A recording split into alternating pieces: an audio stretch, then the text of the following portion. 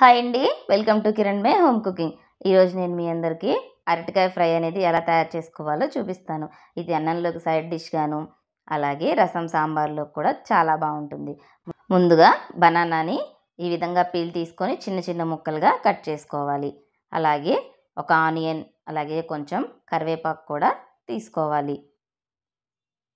ఒక పాన్ పెట్టేసి దానిలో ఒక ఫోర్ స్పూన్స్ వరకు ఆయిల్ అనేది తీసుకొని ఈ విధంగా వన్ వన్ స్పూన్ వరకు మనం తాలింపు గింజలు అనేవి యాడ్ చేసుకోవాలి. ఈ విధంగా పచ్చిపప్పు మినప్పప్పు ఆవాలు జీలకర్ర అనేవి తీసుకొని ఇవి లైట్గా మనం ఫ్రై అవ్వనివ్వాలి ఈ విధంగా కొంచెం ఫ్రై అయిన తర్వాత దీనిలో ఒక రెండు ఎండుమిరపకాయలు అనేవి తీసుకోవాలి. అలాగే ముందుగా కట్ చేసి పెట్టుకున్న ఆనియన్స్ కూడా వేసుకోవాలి. ఈ విధంగా ఆనియన్స్ కూడా వేసుకున్న తర్వాత వీటిని లైట్గా మనం ఆయిల్లో ఫ్రై అవ్వనివ్వాలి ఈ విధంగా ఫ్రై అవ్వడం వల్ల మనకి చాలా టేస్టీగా ఉంటుంది.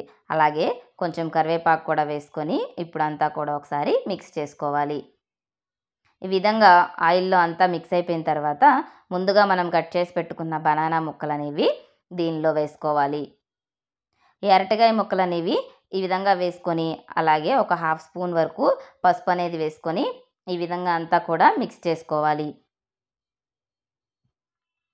ఈ విధంగా అంతా కలిసేలాగా ఒకసారి బాగా మిక్స్ చేసుకొని లిడ్ అనేది క్లోజ్ చేసి ఒక ఫైవ్ మినిట్స్ వరకు మనం వీటిని కుక్ చేసుకోవాలి.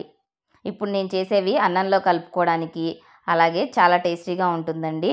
సో మీకు కనుక క్రిస్పీగా రావాలి అనుకుంటే మనం లిడ్ అనేది పెట్టకు కొంచెం ఆయిల్ అనేది ఎక్కువగా వేసుకొని ఫ్రై చేసుకుంటే మనకి క్రిస్పీగా వస్తాయండి. అలాగే దానిలో మనం కొంచెం వెల్లుల్లి కారం అనేది వేసుకుంటే చాలా టేస్టీగా ఉంటుంది. ఇప్పుడు నేను చేసేది మాత్రం మనకి ముక్కలు అనేవి చాలా మెత్తగా వస్తాయండి. అలాగే కలుపుకోవడానికి రసం సాంబార్లో కూడా మనకి చాలా టేస్టీగా ఉంటుంది. బనానా అనేది పూర్తిగా మగ్గిపోయిందండి. ఇప్పుడు దీనిలో రుచికి సరిపడా సాల్ట్ అలాగే మనకి ఒక నాలుగు లేదా ఐదు స్పూన్ల కారం అనేది వేసుకొని ఈ విధంగా అంతా కూడా బాగా మిక్స్ చేసుకోవాలి.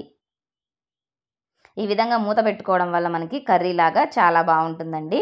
సో ఇప్పుడు అంతా మిక్స్ చేసుకున్న తర్వాత ఒక వన్ మినిట్ వరకు లిడ్ అనేది క్లోజ్ చేసుకొని అంతా కూడా ఒకసారి బాగా మిక్స్ చేసుకోవాలి.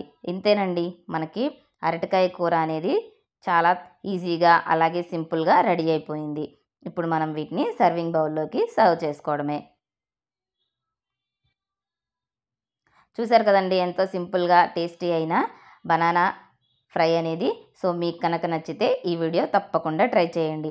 అలాగే ప్లీజ్ లైక్ చేయండి షేర్ చేయండి కామెంట్ చేయండి. అలాగే సబ్స్క్రైబ్ చేసుకోవడం మాత్రం మర్చిపోకండి. పక్కనున్న బెల్ ఐకాన్ని ప్రెస్ చేస్తే నా కొత్త వీడియో నోటిఫికేషన్స్ అనేవి మీకు వస్తాయి థ్యాంక్స్ ఫర్ వాచింగ్.